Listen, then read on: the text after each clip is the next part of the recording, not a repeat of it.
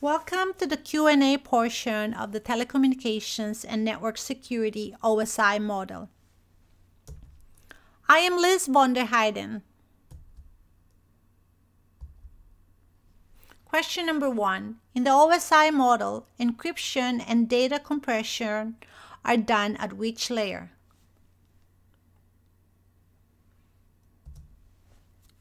The answer is B.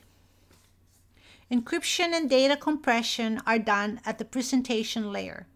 This ensures the security of the data as it travels down the protocol stack.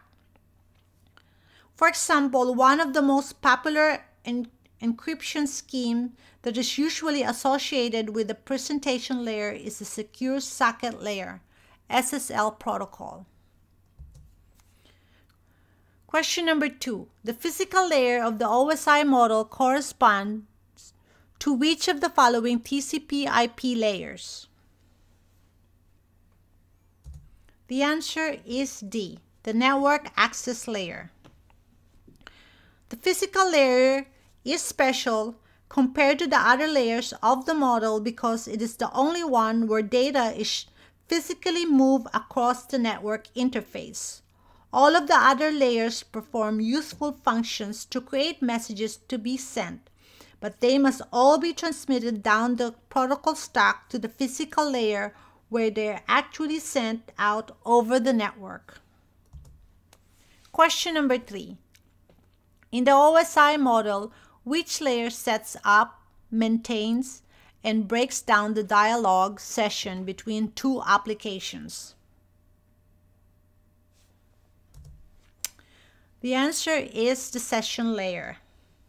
The session layer provides the mechanism for opening, closing, and managing a session between end user application processes.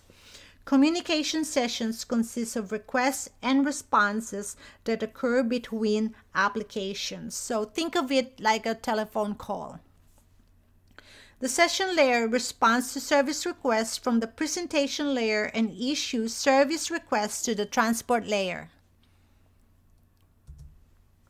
Question number four. Which protocol is used to facilitate file and directory transfer between two machines? The answer is A, FTP, File Transfer Protocol. It is a standard network protocol used to copy a file from one host to another over a TCP-based network, such as the Internet. FTP is built on a client-server architecture and utilizes separate control and data connections between the client and server. It works at the application layer, layer 7 of the OSI model.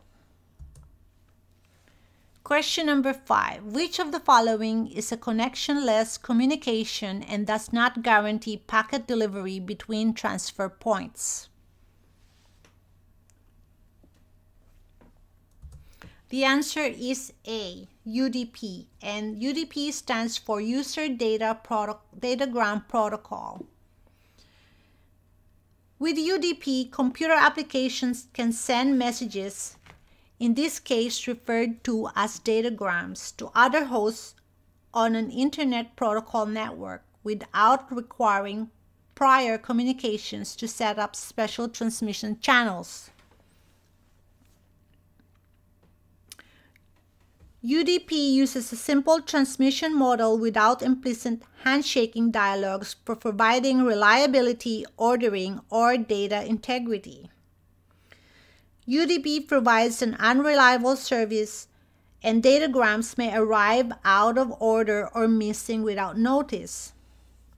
Uh, so UDP assumes that error checking and correction is either not necessary and it also avoids the overhead of such processing at the network interface level. If error correction facilities are needed at the network interface layer, an application may use the transmission control, control protocol, which is also known as the TCP.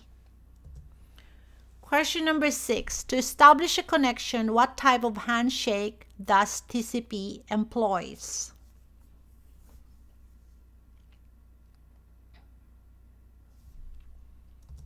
The answer is number three.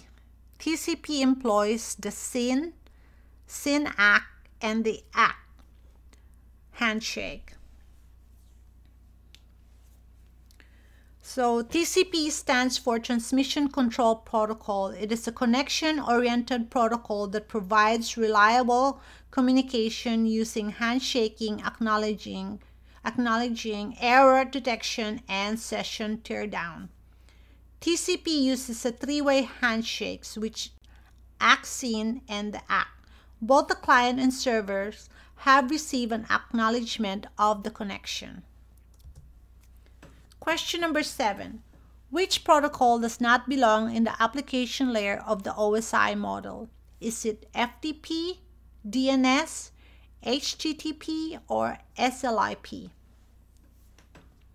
The answer is D, SLIP, and it stands for Serial Line Internet Protocol and works at the data link layer of the OSI model. All the other protocols work at the application layer. Number eight, which protocol makes the best effort at delivery? Is it the IP, the IPX, the UDP, or the TCP?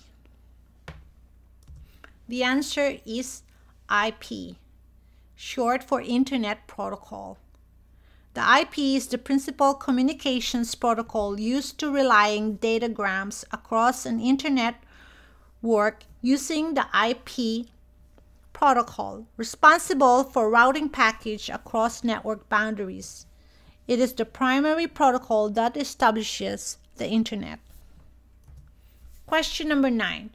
Which protocol provides diagnostic feedback and reports logical errors? Is it the ICMP, SMTP, SNMP, or the HTTP? The answer is A. ICMP, and it, it is short for Internet Control Message Protocol. And one of the most common types of ICMP is a ping. ICMP relies on IP to perform its tasks and it is an important part of IP. ICMP is one of the core protocols of IP suite. It is chiefly used by operating systems of network computers to send error messages such as indicating that a requested service is not available or that a host or router could not be reached. ICMP can also be used to relay query messages.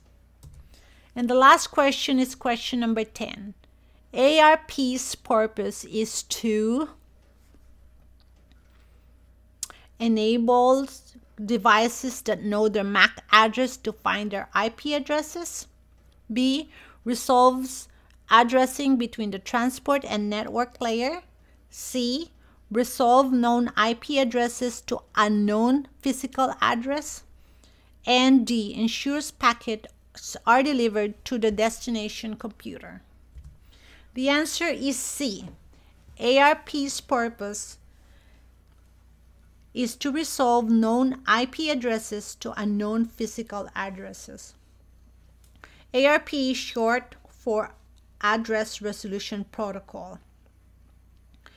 It is a computer networking protocol for determining a network's host link layer or hardware address when only its IP or network layer address is known.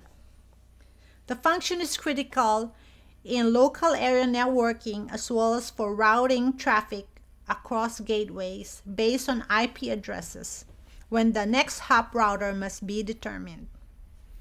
This concludes the question and answer portion of the telecommunications and network security.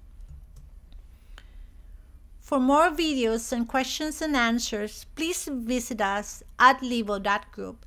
Thank you very much for listening.